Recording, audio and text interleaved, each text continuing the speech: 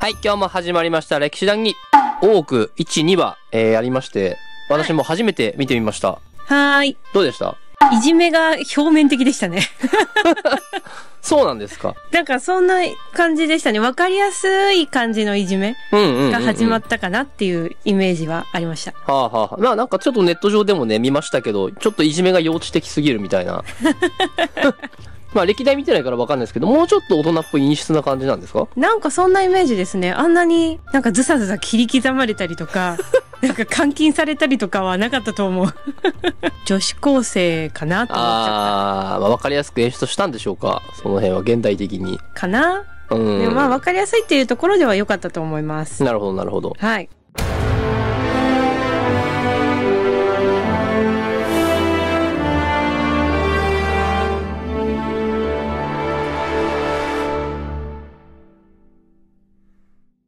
あ、エピソードとしては、えー、主人公の、えー磯宮智子さんが、まあ、次期将軍徳川家治と結婚しまして、はい。で、大奥に入って、はい。まあ、散々いじめられまして、うんうん。で、旦那である家治も目も合わせてくれずずっと冷たいだと取られると。はい。で、えっと、確か第2話が、あれですよね、大奥総取締の松島さんに、の策略で、はい。なんか割ったんですよね。壺？壺じゃないね。なんか、ちゃ、ちゃ、ちゃ、ちゃちゃ。確かあの、鍋島焼きっていうのだけ覚えてるんですけど、うんまあ結構高級なものですよね。を割ったんで、えっと、開始？うん。もう300明日までに完成させなさいとうん。いうのをこう無理くり手作りで作るというところですね。ね。で、最後、えーちょっとだけ亀梨くんが出れるわけじゃないですけど、まあ心が動いたというか、はいっていうところまでかな。そうですね。お前の買い仕入れもらっていいかみたいな。いや、もうネット上では亀梨ファンがもうすごかったらしいですね。あ、そうなんですね。はい。まあ、ストーリーやってる中でかなりいろんな疑問点とかわからない単語出てきたと思うので、はい。まあ今日はちょっとその辺をまた解説していこうかなと思います。よろしくお願いしまはーい。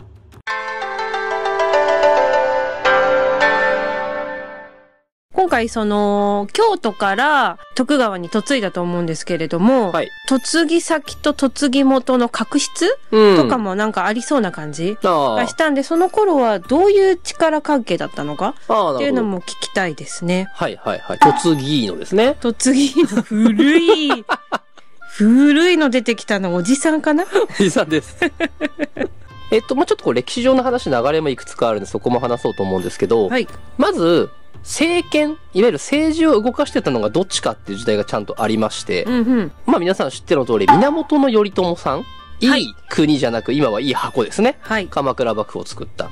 あの方が、えー鎌倉幕府を作った時が、初めて武士がトップとして武家政権っていうのを作った時代なんですね。うんうんあ。れはだから武士が政治のトップとして国を動かしてるっていう時代が始まったと。うんうんうんなんでそれまでは、えーいわゆる天皇の周りの人たちですよね。はい。朝廷っていう、まあ、天皇とか公家っていう人たちうんうんが政治を動かしてた。はい。なんで基本的にこの二つのパターンです。朝廷、天皇側の人たちが政治を動かしている時と、武家、えー要は武士が政治を動かしている時代っていうのがありました。はい。で、皆さんもこれも知っての通り、江戸時代っていうのは、徳川家康さんうん。が作った徳川幕府っていう武士の政治ですね。はい。武家政権でございます。なので、この時代っていうのは、天皇側、いわゆる、まあ、あの、磯宮さんって公家の娘なんですけど、えーそこがあまりだから力持ってない状態ですよね。うんうん要は政治に口出していけない状態。うんうん。っていう状況なので、どうしても、まあ、やっぱり武士の方が力が強いっていう時代背景はあります。なるほど。で、プラス、んえっとですね、1615年。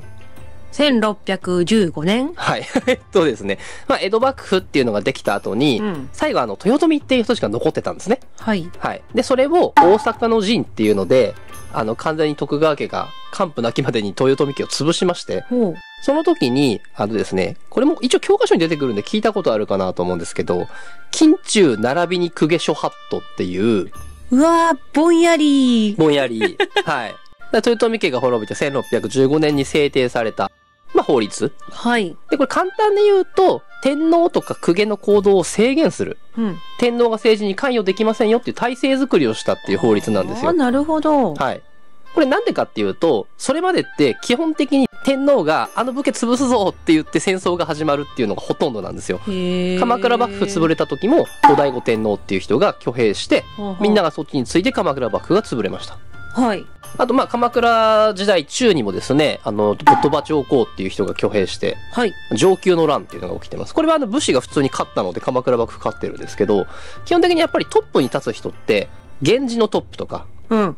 あとはそのやっぱり天皇陛下。はい。でどっちかが挙兵してみんな武士がうわーってついていくっていうことででっかい戦が起きちゃうので、はい。やっぱ天皇が動けない状況を作ることによって平和が来る来ますよね。ほうほうほう。なのでそういう法律を作ったっていう背景がありまして、え、その法律ができたのが1615 15年、年で、今回の舞台は何年？えっと、1700年代後半ですね。ああ、じゃあ、作られてからもうだ百何十年経ってますね。経ってるけれども、やっぱり公家はまだ。まだというか、まあ基本的に武士の世の中。武士の世の中徳川が将軍の間はずっとそういうことですよねあ。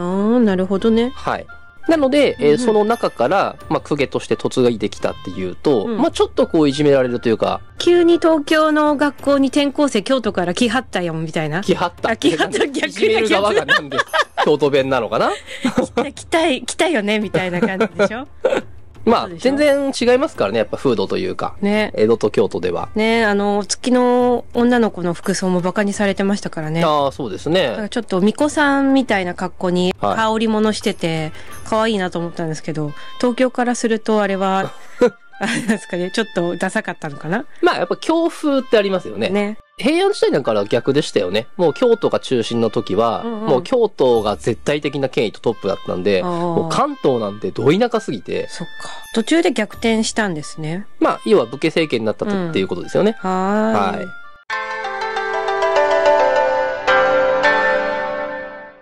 じゃあ、それで、じゃあ、嫁いできたと思うんだけど、うんうんじゃあなんでうん、嫁ぐことになったんですか、武家の政権になって、政治にね、口出せない状況ではあったとしても、やっぱ血筋としては、ああ、いい血筋だから？そうなんです、そうなんです。うんで、今までって武士で言うと、やっぱり力を持っていた武士の娘をもらったりとかっていううん武士同士の政略結婚なんですけど、もう徳川ってトップですよね。はい。なんで同等の血筋なんてないんですよ。うん。ってなると次はどこかって言ったら、皇室とか公家ですね。うんうん。で、結構ね、見ていくとわかるんですけど、徳川家光あたりからずーっとですね、嫁。あの、水戸黄門もそうですね。ほうほうほう。はい。で、今回の、えっ、と、この磯宮智子さん、えーお父さんが、寛院宮直人親王って言って、うん。そのお父さん、だから、智子さんのおじいちゃんって天皇なんですよ。はい。113代の東山天皇っていう方なんですけど、うんの孫なんですよ。うん。智子さん。はい。らすごいですよねす。ごいね。完全に皇室の血を引いている人。うん。なんで、えっ、と、基本的にだから将軍家ってほとんどそういう血筋から奥さんもらってるっていう感じです。うーん。で、多分前に多くの説明した時に、うんあの、家光さんが男色でっていうお話したじゃなはいいですか。。はい。あの時に正式に嫁いできた正妻の方も、あの、高塚さっていうね、うん。公家の娘さんなんですけど、うんなんでそこもだから、そういう血筋で来てるんですけど、ははは仲も良くなかったし、えっ、と、女性に興味がなかったので、うんあの、全然子供はできなかったっていう。なるほどね。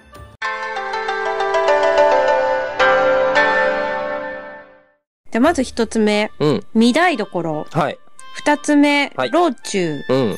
で、その中の老中の主座。っていうところはい。あとは、吉野の国ってどこだっけと思って。信濃じゃない？間違えた。信濃の国だ。吉野はまた別でありますけど、信濃でしたよね。そう、信濃で一揆が起きてて、うん民の不満があって、うん。で、商人からはい。税を徴収した方がいいんじゃないかって、はい。おじさんが言ってたね。おじさんが言ってたね。はい。そこら辺の聞き慣れない単語と、うん。その信濃の国うん。の話をちょっとしてほしいなと思います。じゃあ、えっと、さっきの質問ですが、まず、御台所。はい。これもまあちょっと前回ちょっと説明は簡単にしましたけども、まあ基本的には将軍の、えー、正妻、制裁。側室ではなくて、ちゃんとした奥さん。で本妻本妻。そうそうそうそう。ですよね。を指します。うん。一番最初に将軍家で言ったのがですね、あの、源頼朝の奥さん、はい。北条政子さんはい。が、えー、御台所っていう名前で呼び出されまして、うんうんうんで、そこからずーっともとこの徳川家で最後まで、あの、性質を御台所って呼んだ。へえ。はい。なんで一応将軍家の、えー将軍の奥さんっていうのが基本的に御台所っていう名前で呼ばれてます。じゃあ次は老中これ、老中ですね。老中ですね。はい。これは、えー簡単に言うと、まあ、江戸幕府の中の、こう、職？うんの中の一番トップの最高職はい。の名前です。じゃあ老中の中のトップ。まあ、主座って言うとそんな感じですね。老中は何してんの？基本的にちゃんと選ばれる人たちも決まってまして、まず2万5千石。うん要は自分の土地ちゃんと持ってる大きい大名の人たちのトップうん。の不代大名。うん。不代っていうのも多分単語出てくるんですけど、わかんない人多いんですよね。うん。なん不代と審判と戸様っていうのがあるんですけど、なんか教科書で見た。まあ、不代と戸様だけはちょっと説明しておきます。うん不代は、要は徳川家康の時からずっと使えてる、もう歴々の人たち。はい。はい。で、戸様っていうのは、もともと敵だったけど、うん今は平和な世の中になったんで、あの、徳川家の幕府の中で一応使えてますよって状態の。あ。大体だからその家康の時にもういた家臣の人たちの子孫です。はいはいはい。はい。で、その中から、えー、大体4、5名、うん複数名呼ばれて、うん。老中って人が選ばれるんですね。なんではい老中って1人じゃなくて4、5名います。うーん。で、その人たちが、あの、もともと自分の班も持ってますから、同時に行わなきゃいけないんですよ。うん。なんで、一月ごとに交代で政務を取るんです。はい。交換で。はい。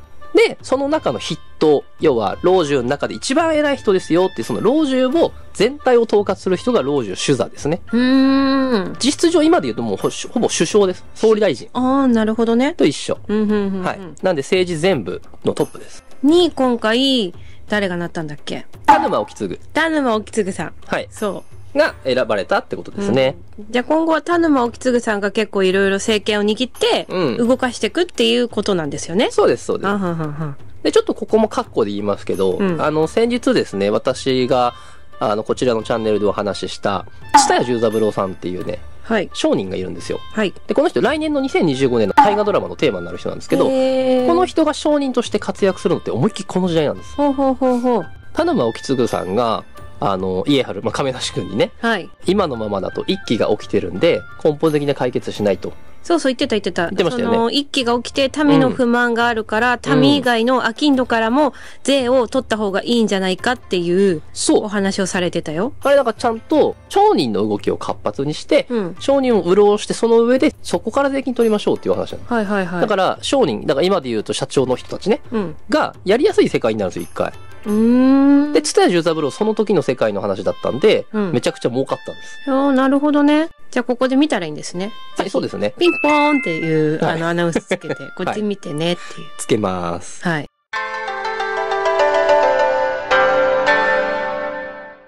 お手紙書いたら、はいそれはオークハットに触れるからダメだよってめっちゃ怒られてたじゃないですうん。か。ともこさん怒られてましたねそうとも。こさん怒られてたから、そはいのオークハットってどういうのがあって何をしちゃいけないのかって教えてほしいなと思いました。と、まあ、オークハット一番わかりやすいところで言うと、男子禁制ですよね。うんうん。男の人は入れませんっていう。まあ、こういうものがだんだん決まっていって、はい今回も出てきました。徳川吉宗っていう、はい。亀梨君のおじいちゃんね。はい。が決めたオークハット10箇条っていうのが完成版らしくて。なんで、あの時代のちょっと前に大体完成してるらしいんですよ。はいはい。暴れん坊将軍がそうです、そうです。決めた。決めた。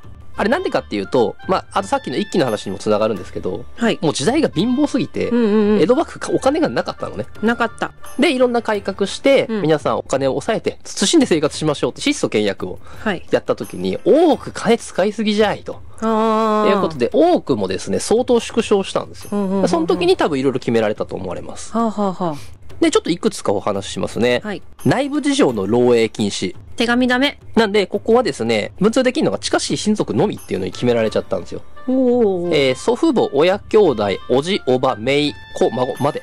そっか。だから、この間文通してた誰だっけ？古賀信道さんっていう人ですね。です。信道さんはじゃあ親族じゃなかったんですよね、要は。親族じゃないですね。ね。はい、ただの。幼馴染ですもんね。はい。結構すごい人ですね。公家の中でも国政を担う最高の職員になった人物らしいです。ほう。で、他、ちょっと大枠ハットもお話しします。はいえー賄賂のやり取り禁止。まあ、はいはいこ。れはダメだよね。お金ね。そうそう。そもそもダメだよね。うん、そもそもダメ。はいあと、多くの中は家族でも入れちゃいけない。出られないし、会えもしないよって言われてましたもんね。うん。うん。で、あと、えー用事で来た女子といえど止めてはいけない。ああ、止めちゃいけないんだ。まあ、他人ですからね。まあそうね。はい。と徳川吉宗っぽいなっていうのがここなんですけど、はい。えー着物、身の回りの道具、贈り物、振る舞いなどは豪華にしすぎず、身分相応にすること。ああ、そういうことね。亀梨くんが言ってましたよね言。ってた。我が祖父は吉宗であることから、ね、うんあんまり豪華絢爛なことはやめてほしいと。うん。うん。すぐお暇を取らせてたもんね。首ですよね。ねまあそうだ、どっちにしてもね、あの、幕府財政が良くないのは分かってるんで、うんうん女の子少しでも切った方がうん。経費が抑えられますからね。うんうんうんはい、次。部屋に人を集めてもてなすことがあったとしても、夜遅くまでは行わないこと。夜間。要はどんちゃん騒ぎしないでね、ねそんなにっていう。うんうん。あと、この時代って、あの、やっぱ電気とか明かりなかったんで、ろうそくなんですよ。ああ、節約になるしね。そう。あと、プラス、江戸時代ってとにかく火事が多かったので。なるべく火の元は使わないようにっていうことですね。そういうことですね。はい。もう多くから火事が出たなんて最悪な、最悪だ江。戸城燃えますもん。燃えちゃう。で、次。えー徳川家の門がついた道具は使用で人に貸してはならない。いや、これも当たり前ですよね。うんまあそうですね。ははい。とんでもないことを出してしまう、外にっていう。いはいはい。ね、水戸黄門の印籠が外に出ちゃうようなもんですから。うん。あと、マッサージ師の出入りも二人までとする。何それ？あの、この時代ってアンマっていうマッサージ師いたんですよ。うんうんうん。で、あの女性たちって本当体力使わないんで、うんあの、揉んでもらわないと体悪くなるんですね。動かないんで。うんうんうんうん。特にあの、見台所とかになると何にもさせてもらえないんですよ。全部。だってトイレもね、うん髪拭いてくださいねって言われたじゃないですか。言われてた。あれぐらい禁制されてるんで、うんあの、体とか揉んであげないとね、本当に弱くなっちゃうので。結構あんまさんは入ってたらしいです。なるほどね。ただ、まあこれも外からの人なんで、二、うん人以上入るとろくなこと起きないから二人までと。までと。はい。で次。下働きの男性に個人的な用事を頼まないこと。うんうん。頼んでましたね、お品さんね。めっちゃ頼んでたよ。あれダメ。ダメなんだ。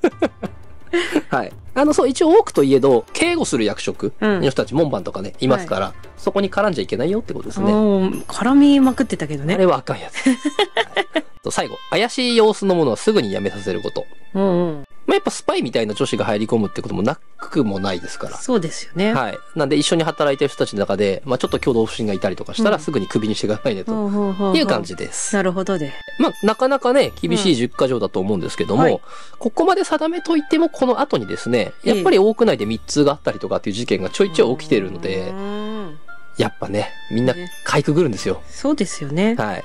暇だもんね。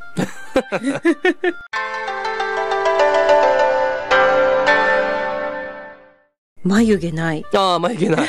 眉毛。なかったね。やっぱり今回も眉毛なしいるみたいな。すごい存在感。はいはい。怖いもんね。怖い怖い怖い。はい。あの、栗山千明と争ってた人ね。そ眉毛待ちでなかったねう。。なかった。あれは当時の流行りだったのかな？これは、まあちょっとこれも説いくつかあるらしいんですけど、うん。大きい理由としては結婚をして子供を産んだ人はい。は基本的に眉毛剃ってお歯黒をしてるっていうのが結構習慣だったみたいです。で、これも理由があって、例えば自分の奥さんが浮気されてしまったと。はいはいはい。で、その浮気相手も見つかったとか、例えば浮気現場にちょうどこう会っちゃった旦那がいたとしたら、うん。二人とも殺さなきゃいけなかったんですよ。へえ。すごいよね。浮気の罪ってすごいんですよ。すごいね。だからそう、武士の奥さんが浮気してたって言ったら二人とも切り殺されるの。おーおーおーおーで、相手がほら、いや、嫁だって知らなかったんだよっていう。言い訳をさせないために眉毛剃っといたっていう話があって。へーうんで、あの、多くって基本的にやっぱ将軍様に選ばれるから、うんね、既婚者ってなかなかいないなとは思うんですけど、うん。例えば、乳母ってうん。既婚者ですよね、あれは。そうですね。うん。あと他にも、やっぱ事務管理を行うっていう、はい結構年上の女性がいたらしいので、まあ既婚者もいるらしいです。うーん。まあなんであの辺ってちょっとこう、おばさまだったじゃないですか。そうですよね。だからあり得るっていうことですよね。はいはいはい。で、一応あともう一つあるのは、うんまあ美しさの象徴っていうことで、うん。なんか目と眉毛の間の広さが美の条件だったらしいんですよね。うーん。多分平安とかあの辺の時代のあれかなと思うんですけど、確かに、マロは上の方に眉毛描いてたような。そうそう、なくしちゃって上行くでしょ。うん。だから逆に全部抜いちゃうっていう人もいたらしいってへいう。ーまあこの二つの説がメインですかね。はいはいはいははい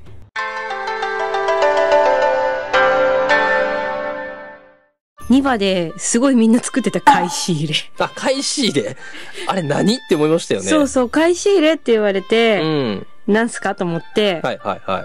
でも、形状見たら、うん胸元に刺さってるあれだと思って。確かに。財布かなと思うよ。そう、一瞬財布かなと思ったけど、お金使わないし、うん。返しって言ってるから、うん。紙みたいな。はいはいはいはい。ね、これは何をするものなのか、一応説明欲しいなと。そうですね。これはですね、茶道具はい。を持ち運ぶためのポーチはい。だそうです。うーん。はい。なんで、あの、お茶をするっていうのがやっぱ場面場面あるので、その時に下に敷くものを入れとくものですね。ほうほうほうほうほ結構でも他にも、うん扇子入れたりとか、う。うん。貸し切り。入れたりとかっていう、まあ、お茶道具一般的に入れてるようなものだったらしいですね。へえ。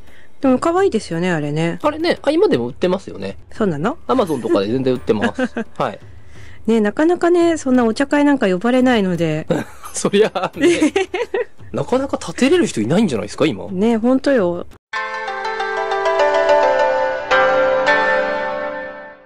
まずそうそう、信濃ってどこって言ってましたよね。そうそう、信濃どこだっけと思って。信濃はね、長野県です。今で言うと。結構だからあの辺って山なんでう、ん。もともと結構土地的に厳しいんですよ。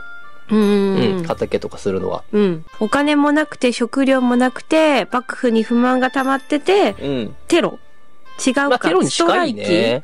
ストライキだけど暴動してるん。でテロの方が近いのかな。だよね。テロ起こってますよって話だよね。まあ簡単に言うとそん。な感じです。あじゃあそれで合ってるね。はい。よかったよかった。さっきちょっと説明してました、あの、八代将軍、暴れん。坊将軍の吉宗の時代って、うん。本当にお金なくなっちゃって、うん。国に。うん。うん。で、さらにですね、大飢饉っていうのが起きるん。ですよ。はい。要は雨降り続けるとか、左が続くとか、うんお米が取れなくなっちゃう。うん。基本的にこう納税がお米だったので、はいお米以外のことも考えなきゃいけない。うん。で、しかも他でなんとか税を取り立てないと幕府も立ち行かないみたいな。状況の中で吉宗さんがいろんな改革を起こしていくんです。うん。で、一個すごい大きかったのが、四項六民っていう単語聞いたことありますか？あーなんか聞いたことある。商人は売り上げの4割、農民は6割を幕府に捧げなさい。違う。違うか。4、項だから、4が幕府。うんうん。で、6が民。ああ。民の方に商人も農民も全部入ってますね。はあはあはなんで、4割が納税なので、うん。民の方が多いんですよ。うんうんで、。これやり出したのが、北条早雲っていう人で、うん。え、四項六民でいいんですかって言って、北条家のとこにみんな民が集まってきた。なるほど、ね。もともと五項五民なんですよ。で、北条家が全部関、えっ、と、戦国時代潰れちゃって、うんその後に関東、要は江戸に入ったのが徳川家康。うんうんうん。なんで、徳川さんがそこに入ったんですけど、はいこれから関東全部私が政治にならなきゃって言ってる時に、うんじゃあ五項五民に戻しますって言えないですよね。言えない。ね、民の暴動起きちゃうでしょ。うん。なんで、家康って江戸幕府開いた時ずーっと四項六民続けてるんですよ。ほうほなんですけど、そろそろきついって言って、うん八代将軍吉宗さんが五項五民に戻しますやったんです。う。ああ、税上げちゃいますって。うん。そうしたらもう、そら不平不満出まくりですよ。うん。急にテンポ上がるんだもんね。そう。大変だ。でしょ？で、さらにさっき言った飢饉も起きてて、うんうんうんそもそももうお米もお金もない状態で、うんせ要は納税額上げられてるわけうです。ん、大変だよ。そうしたら一気起きますよねっていう。んで、一気以外にもやっぱり、享保の打ち壊しっていうのが起きてて、打ち壊しって多分これも教科書で聞いたことないかなと思うんですけど、壊しちゃう？うん。何を？要は、えっとね、米の価格が上がっちゃうんですよ、これ。はいはいあの、高騰しちゃって。うん。インフレが起きちゃって。うん。で、えっ、と、米商人が溜め込んでんじゃねえかってなっちゃって、庶民が。で、その米商人のところみんなでダーって一気起こして壊しちゃう。で、米奪ってっちゃう。大変だ。っていう事件も起きたりとか。暴動ですね、完全に。暴動です、暴動です。なんで、そういうことが起きてた時代です。なるほどね。じゃあまあ亀は、あ、亀梨くんはそれを見てうん嫌だなと思ってたのかな、まあ、なんとかしないとなと。そうだよね。うん。なんかだって、江戸幕府だってまだまだお金ないわけですから。うんうんうん。おじいちゃん子っぽい感じでやってるもんね、あね、。そうそうそうそうそうそう。家春がすごいもう少年時代から聡明だったんで、はいおじいちゃん直々に英才教育してたらしいんですよ。そういうことね。うん。でおじいちゃん子ですね、うん家治さんは。ね。なんか前作とか、まあ今までの作品にもいらっしゃったんですけど、うん。その、お世話係の方、うん。だいたい3人ぐらいのうんコメディアン担当の人がいて。そう。だいたいご飯食べて、美味でございますっていうやつ。はい。今回も3人ではいはいはい、ね、はい。つるんでるじゃないですか。ハシヤスメさん出てましたね。元 BiSH の。そうらしいですね。うん。メガネの子。黒メガネの子。はい。とりあえず復活してるなと思って。うんうんうん。今後そこが一応、なごみのところになるわけですよね。うんうんうん。あの、開始ね、パーンって出た時も、うん綺麗かわいいって言ってましたね。言ってた言ってた。触るなって言われてたけど。とりあえず1、2話見た感想はこんなところで。はい、わかりました。はじゃあまたですね、3話、4話見て、うん。また2週間後に収録していきたいと思います。そうしましょう。はい、じゃあ今回もありがとうございまはい、した。ありがとうございました。